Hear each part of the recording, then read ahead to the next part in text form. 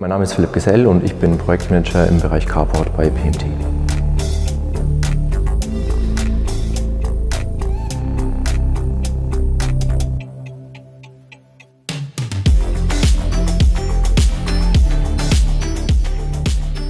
Die Anfrage von Bosch Solar haben wir Mitte 2019 erhalten und konnten dann auch innerhalb von einem Tag eine erste Planung mit Kostenschätzung abgeben.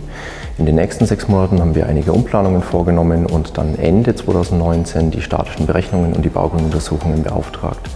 Anfang 2020 konnten wir dann ein finales Angebot an Bosch Solar stellen, woraufhin das Carport auch beauftragt wurde.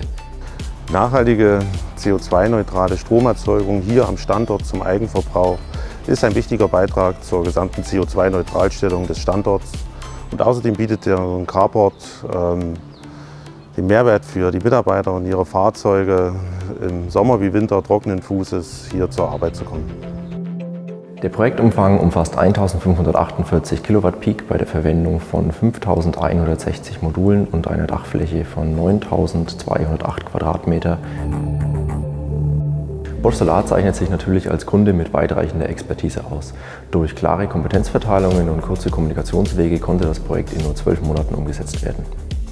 In PMT haben wir einen äh, sehr flexiblen, schnell agierenden Projektpartner gefunden, der mit uns hier zusammen dieses Projekt am Standort Eisenach realisiert hat.